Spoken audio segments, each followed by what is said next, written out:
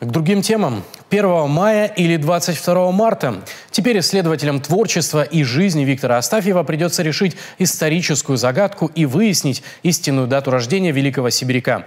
Новые подробности жизни писателя вскрылись не так давно. В конце прошлого года ЗАГС передал Государственному архиву Красноярского края ряд документов. И каково было удивление сотрудников, когда в одной из метрик они обнаружили запись, свидетельствующую о том, что в семье Астафьевых мальчик по имени Виктор родился 22 марта, а не 1 мая, как это общеизвестно.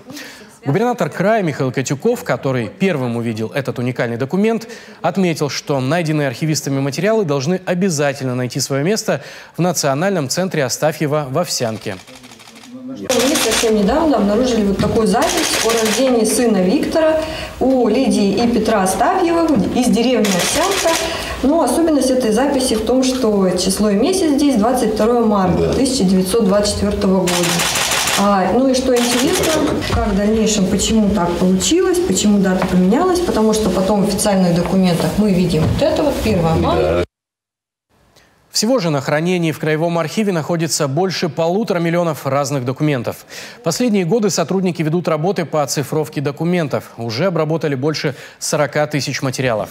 Есть там и своя лаборатория, где реставрируют бумаги, которые ветшают со временем. Глава региона ознакомился с особенностями работы сотрудников архива. Архивный документ – это та самая часть истории, которую переписать невозможно. Когда у нас есть документ, то тут уже с этим никто и не поспорит. Первичный документ всегда он, он был, есть и будет первичным документом.